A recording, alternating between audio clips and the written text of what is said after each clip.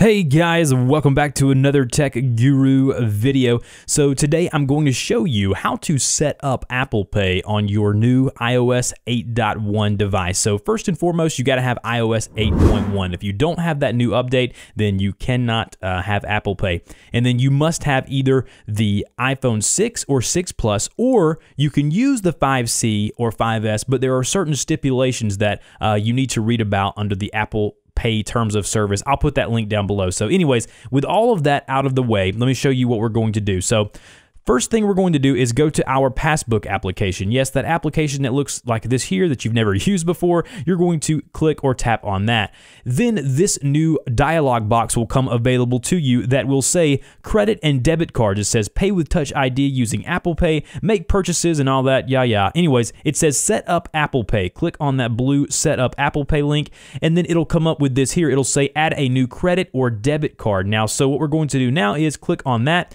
and then here it's going to ask ask you for your credentials. So go ahead and do that now. So you can either type in all of this information or you can click on this nice little blue camera icon. Your camera will come available and you can take a picture of your card and it will read it automatically like they do with the iTunes cards now uh, in that recent iTunes update. So anyways, unfortunately for me, uh, Apple Pay is not available for my bank or my type of card. But once you're done with this, it'll say congratulations, you're now able to pay with Apple Pay. Uh, and then going forward, any places that accept Apple Pay like like Walgreens, Whole Foods, whatever, you'll be able to pay by just getting your phone out and using Apple Pay with your Touch ID. If you need to know how to set up Touch ID, I'll put that link down below as well. But anyways, what are you guys going to do? Are you going to use Apple Pay? Do you see use in this? I do. If my card was available, trust me, I'd be doing it now. But again, and you can also get to this through the settings. So you can go to settings right there where it says Passbook and Apple Pay. You can just click on that and it'll allow you to set it up just the same way.